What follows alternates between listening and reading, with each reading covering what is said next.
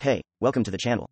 Today we're exploring if Epic Store is DRM free. Could it be that Tim Sweeney is actually a good guy? Let's install open source Epic launcher replacement called Legendary. Link in the description below. Download it.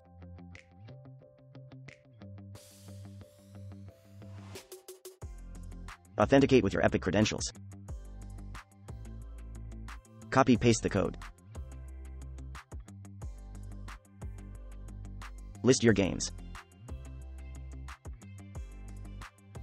Find your game's codename.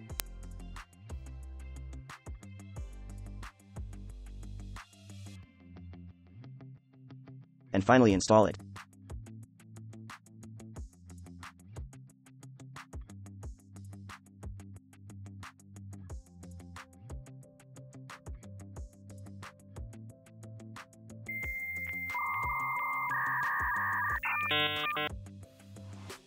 Run it.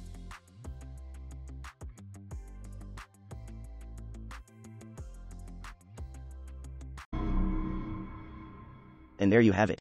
Control completely DRM free. Are publishers too lazy to implement Epic DRM? Is the Epic Store too small for anyone to care? Leave what you think in the comments and thanks for watching.